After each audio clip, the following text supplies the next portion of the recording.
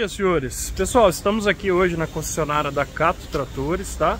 Inclusive é patrocinador nosso e tem equipamento no pátio. Isso quer dizer que tá melhorando as coisas já, hein? Estamos voltando quase que ao normal aí. Pessoal, e hoje eu vim fazer um vídeo da BC 6800, tá? Tem duas aqui na, na Cato, quem estiver procurando pode procurar a Cato.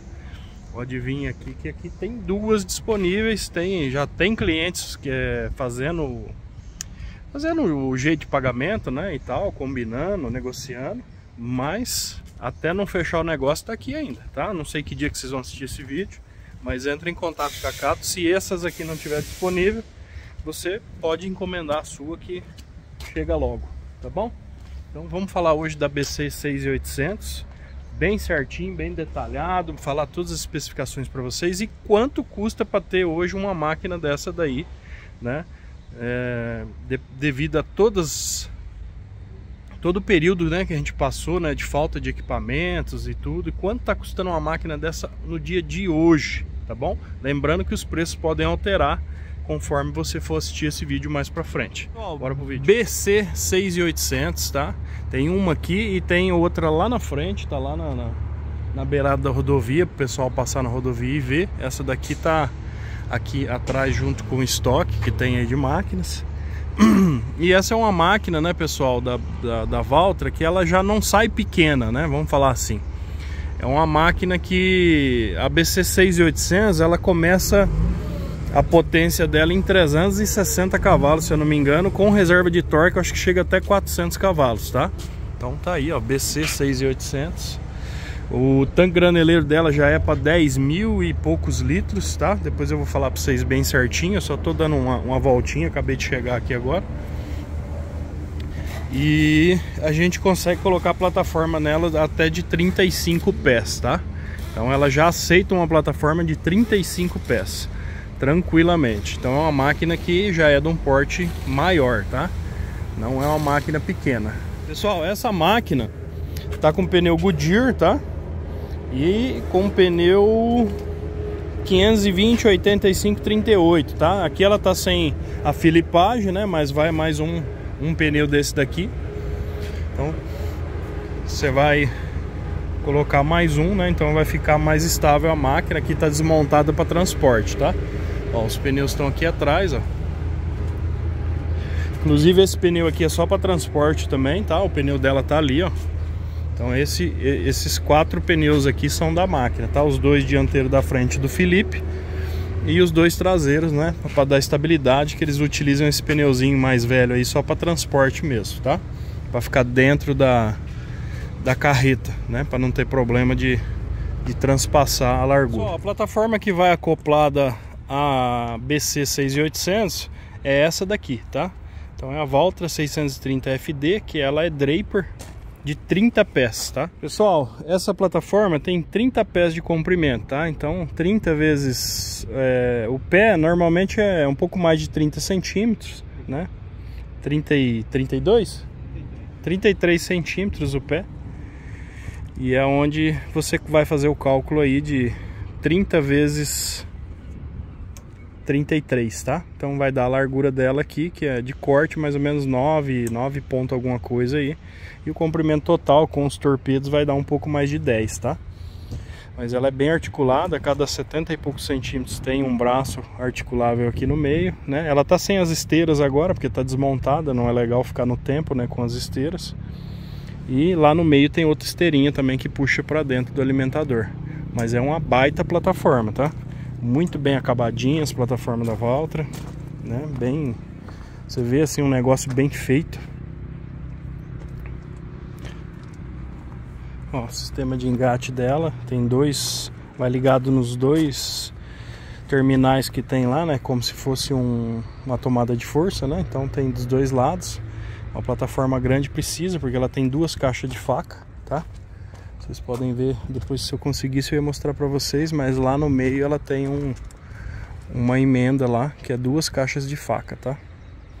Uma de cada lado. Deixa eu dar uma olhada aqui.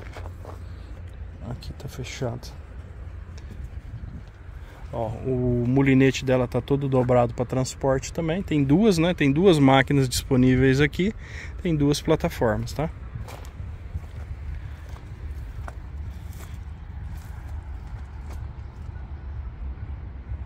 Pessoal, aqui em cima, então, a gente vai começar falando do motor dela, para vocês terem uma noção.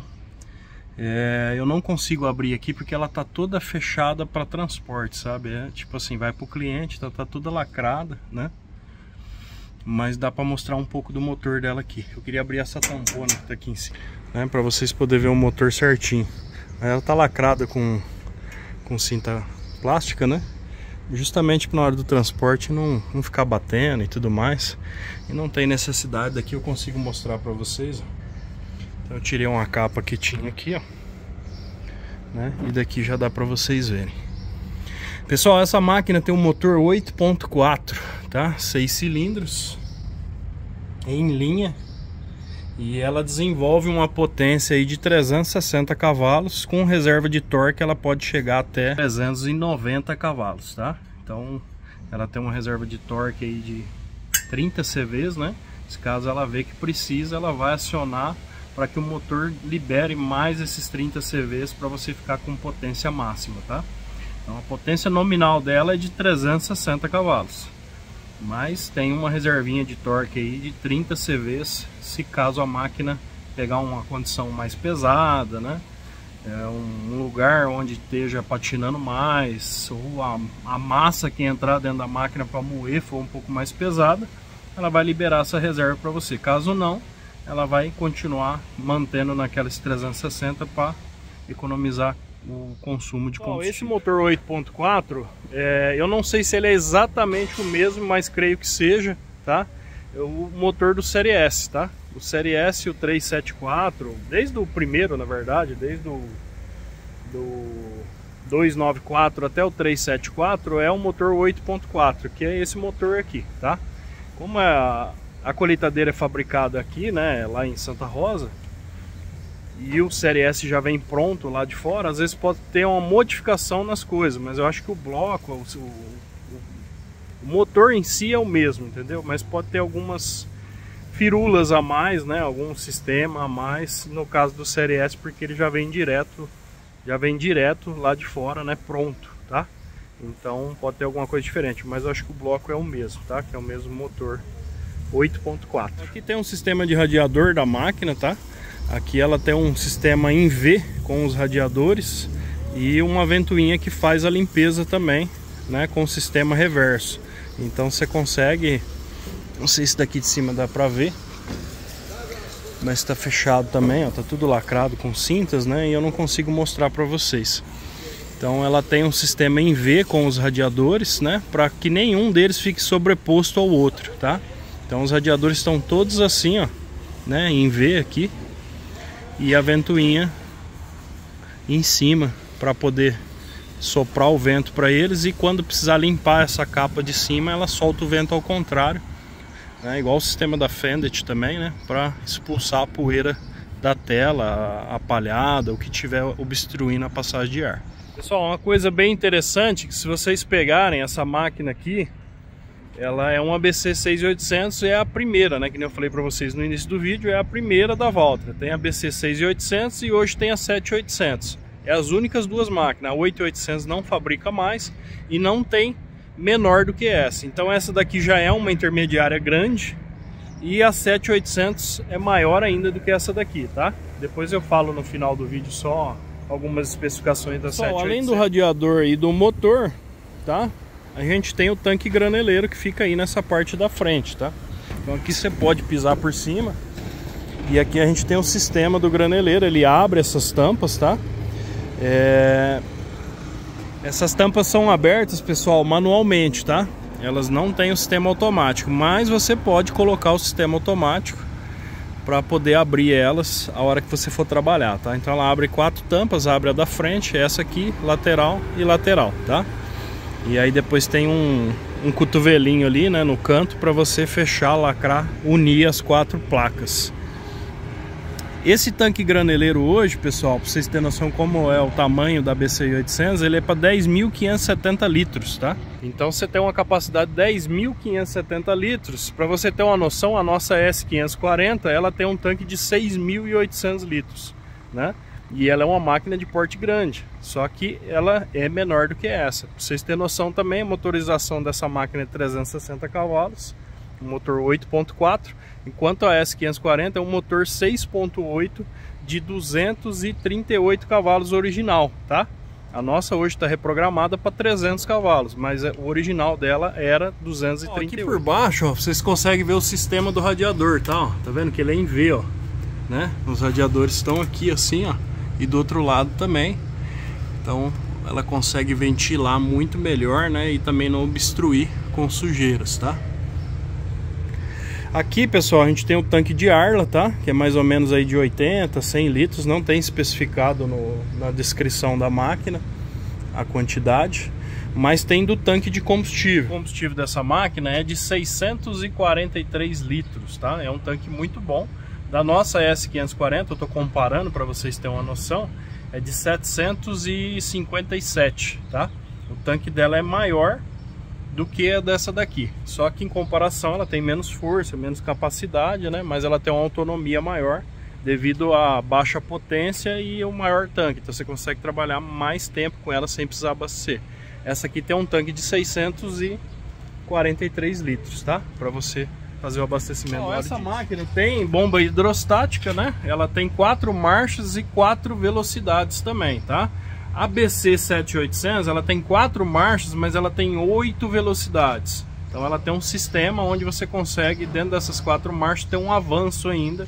Então você vai ter oito velocidades. Essa daqui é quatro marchas, quatro velocidades, tá? Pessoal, aquela hora eu falei do tanque de, de graneleiro, né, dela, né? O tanque onde você vai acumular os grãos que você está colhendo pela plataforma.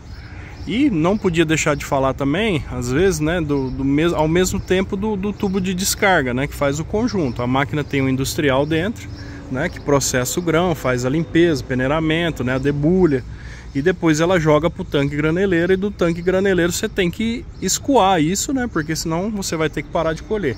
Então a capacidade dela de descarga, né? Pelo tubo, né? Que você vai descargar em cima do caminhão ou de uma bazuca, né? De um, um vagão graneleiro. É o diâmetro do tubo é de 18, é, 280 milímetros, tá? E você tem uma vazão de 88 litros por segundo, tá? Então é uma vazão muito boa para essa máquina, poderia ser melhor, tá? Poderia ser me melhor já pela potência dela, poderia se descarregar um pouco melhor. Pessoal, o comprimento do tubo é de 6 metros e 40, tá? Então ele tem um comprimento muito bom, 6 metros e 40 para o tamanho de plataforma que você vai trabalhar. Se caso você for trabalhar com uma plataforma maior, às vezes você tenha que aumentar um pouco mais o tubo, tá? Ou trocar de colheitadeira já. Né? Mas esse tubo aí dá para você trabalhar com plataformas de 30 pés tranquilo, tá? Dentro da BC 6800, né? Acabei de entrar aqui, já liguei o arzão dela aqui, ó. Ó, 20 graus, ar digital, tá? Deixa eu só diminuir um pouco a ventilação, pessoal, senão vocês não vão escutar. É uma máquina silenciosa da parte de motor, né? Dá para vocês escutar aí um pouquinho, mas é bem silenciosa com a cabine fechada.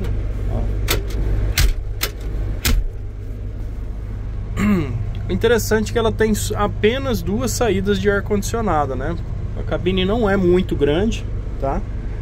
Em comparação com a, a, nossa que a gente tem lá, ela não é muito grande, tá? Mas ela é bem espaçosa, tem o espaço do, do, do sapo, como sempre. Né? Tem os apoios de pé aqui, ó, que a nossa não tem.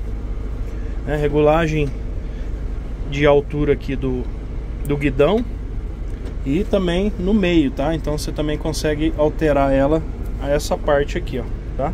Ela tem duas dobras, uma aqui e outra lá no pé, tá? Aqui a gente tem seta e buzina. Aqui é só luzes, tá? Que vai te indicar o pré-aquecimento do motor para partida. Faróis ligados, pisca-alerta ou seta. Né? E aqui também setinhas, né? 1 e 2. E esse aqui eu não sei para que, que serve, mas é para algum sistema de sinalização, tá?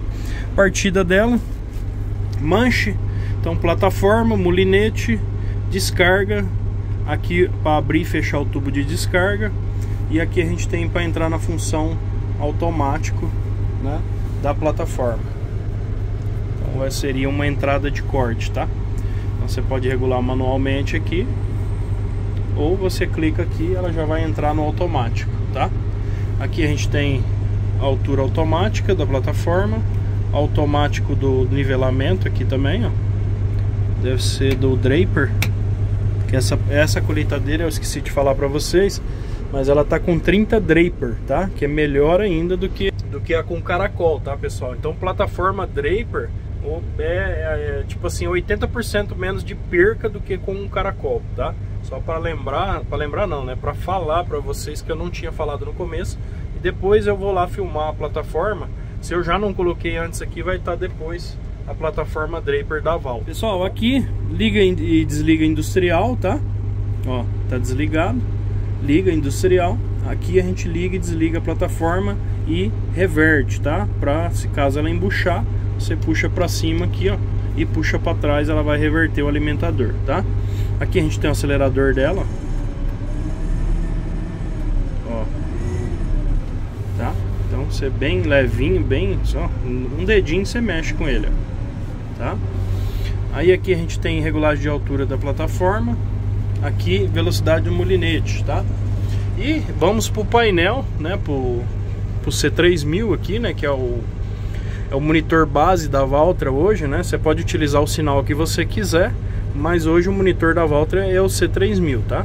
Então o monitor é muito fácil, é muito intuitivo de mexer, então aqui você consegue ver é, a parte de desempenho da máquina, né? Então a gente tem pressão de óleo, temperatura, aqui tem a parte do ar, ó, né? Que tá baixo, tá piscando, e a gente tem ó, o combustível tá baixo e o Arla também, tá? O verde é o combustível e o Arla tá ali, ó, 17 litros tá?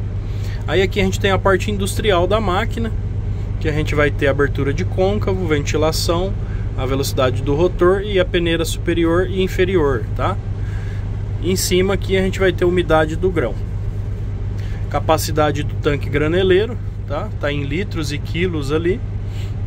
E aqui a gente tem a velocidade da máquina conforme ela estiver trabalhando. Eu já falei no começo, mas aqui a gente tem tem o retrovisor tá?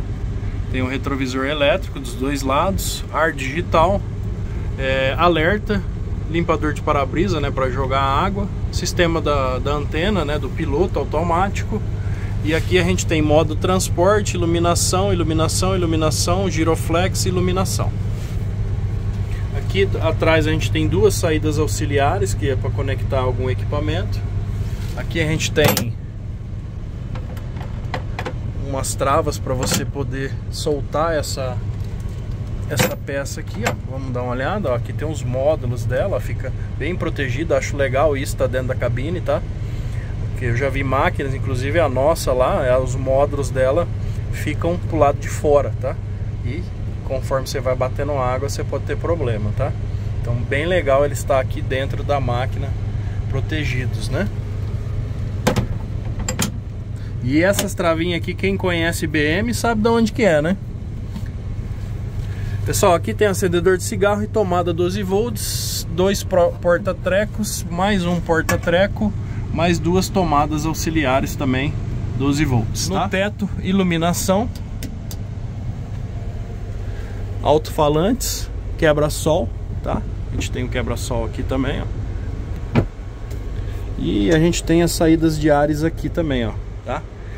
Eu tinha falado no começo que era só duas aqui em cima, porque ela solta na coluna aqui, ela tem três saídas cada lado, na frente e uma aqui, ó, tá? Mesma coisa ali. Aqui, aqui tem, não tem, aqui, ah, tem sim, tá aqui, ó. Atrás do monitor, até bom para refrigerar o próprio monitor também, ó, conforme estiver trabalhando. Por isso que eu tava vendo que ela tava subindo o ar, porque estão todos fechados, ó. Vamos abrir eles aqui, ó. E o de baixo lá eu não alcanço por causa do, do espaço para mim passar aqui. Pessoal, banco pneumático, sistema do câmbio dela, quatro marchas, que nem eu falei para vocês, e quatro velocidades. Aqui a gente tem o banquinho do sapo, que vira mesinha também, porta-copo. Cinto de segurança para o sapo. É, encosto de braço com ajuste de altura. E freio de estacionamento. Na, cole... Né, na colheitadeira BC 6800, as duas portas da gabine abrem, tá? Então essa daqui ela abre também, ó. Aqui, ó. Consegue abrir de um lado e do outro, isso é legal. Porque você pode né, passar de um lado para o outro sem ter risco de, de se machucar passando aí pela frente ou por qualquer lugar, né? E aqui normalmente como é em toda máquina colheitadeira. Pessoal, o vídeo era basicamente isso, espero que vocês tenham gostado, né? Uma ficha técnica, a máquina está estática, parada, tá? E para deixar para vocês as especificações básicas aqui no, no último, né, para quem acompanha o vídeo até o final, uma máquina dessa hoje completa, com GPS, piloto, plataforma 30 pés Draper, tá? Com um sistema já de carregamento da própria plataforma, já tem ó, as rodinhas, né, para carregar ela para um lado para o outro se você precisar. Tá em 2.2 milhões de reais, tá? Então assim, uma máquina dessa hoje com 10.570 litros de capacidade de graneleiro, com plataforma 30 pés, motor de 360 cavalos, podendo chegar até 390. Você vai comprar hoje, tá? Esse é o preço sugerido, tem negociação ainda, dependendo do que você for fazer, às vezes enfiar um equipamento na troca ou pagar à vista, você consegue negociar, né, uma condição às vezes um pouco melhor, tá? Então, hoje o preço sugerido dessa máquina é de 2.2 milhões de reais. Beleza, pessoal? Até o próximo vídeo.